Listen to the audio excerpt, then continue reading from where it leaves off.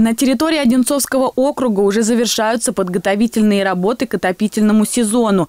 Мы прекрасно понимаем, что необходимо делать на наших теплосетях, на наших котельных, какие регламентные работы э, проводить, как готовить подвалы, э, многоквартирные дома и так далее. Прошу все сделать в указанные сроки. Особое внимание уделить э, котельным, которые находятся в Дом отдыха Ершова.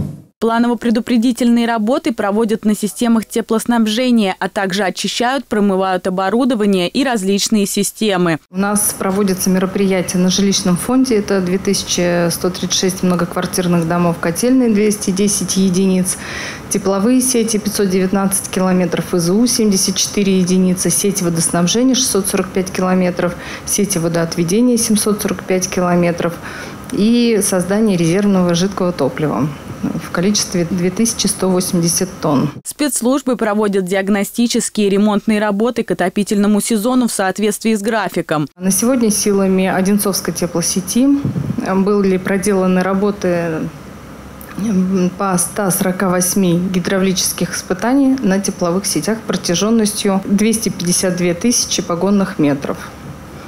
А также проводится подготовка по объектам водоснабжения и водоотведения. Все подготовительные работы завершат к 15 сентября.